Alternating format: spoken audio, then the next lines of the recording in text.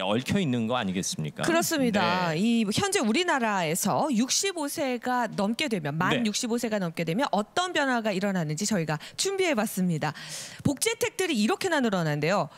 199가지의 혜택이 생긴다고 합니다. 알고 네. 계셨나요? 대표적으로 보자면 지하철 무임승차. 그렇죠. 네, 그리고 고금과 박물관 무료 입장도 가능하고요.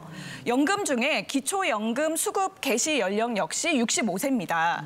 그리고 노인 장기 요양 보험 그리고 노인, 노인 임플란트 건강 보험 대상이 되는 연령도 역시 65세고요. 아, 이거 많이들 좋아하시더라고요. 네.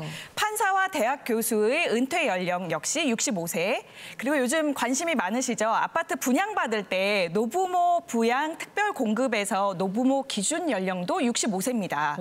네, 역시 건강보험 피부양자 자격도 65세 기준으로 가능해집니다. 이야, 이 정도면 65세 될 만한 것 같은 느낌이 드는데 지금 우리 강창희 대표께서는 이거 다 누리고 계신 거죠? 제 나이가 70 우리 나이로 73세인데 네. 아유, 벌써 그렇게 되셨고 65세를 노인으로 하면 저는 초초초 노인이죠. 아직 쌩쌩, 쌩쌩하거든요. 네. 근데 얼마 전에 병원에 갔더니 제가 통풍으로 갔는데 그 진료비가 1,500원이래요.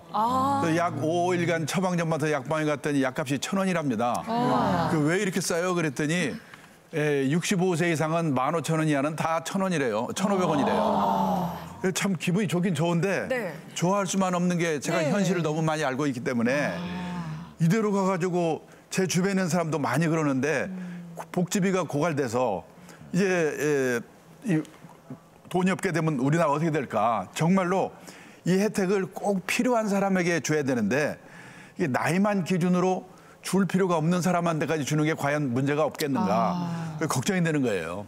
예. 뭐 이래도 되나 싶으셨다는 네, 네. 얘기네요. 오히려 네. 혜택을 받는 분이 저런 말씀을 하시니까. 근데 저는요, 그렇죠. 그동안 이제 우리가 일해가면서 우리도 세금 낸 거 많고요. 하하. 또 건강보험료 낸 거 많고. 그렇죠. 이제는 또 우리도 누릴 나이가 된 것 같아요.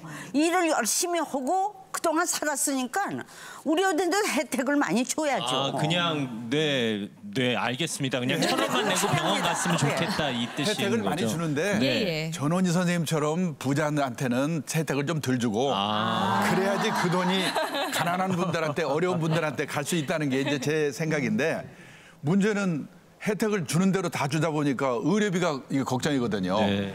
2017년 기준 그 한 해 65세 이상 그 노인분들의 진료비가 28조 3천억 원이었더라고요. 꽤 되는 그 전체 우리나라 진료비의 41%를 이 65세 노인분들이 이게 2030년이 되면요. 예. 91조로 늘어난답니다. 그래서 작년에 에, 우리나라 지금 의료비가 적자라고 아직 발표는 안 됐는데 그런 얘기가 좀 들리고 있는데 네. 이제 4년 후에 되는 2023년이 되면 건강보험 적립금이 다 제로가 된다래요. 그러니까 지금은 그럼 돈이 없어지는 예, 거예요? 어, 그렇죠, 그렇죠.